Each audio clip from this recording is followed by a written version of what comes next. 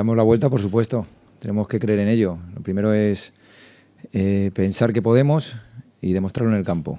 Eh, yo, como repito, que estoy notando dentro del equipo el ambiente que se respira, es un ambiente remontada y mañana lo tenemos que, demostrar en el campo desde que salgamos. Desde que, como ha dicho Manu, desde la llegada al campo se tiene que ver un ambiente por parte de todo el Villarreal de, darle la vuelta, de una remontada de un día histórico.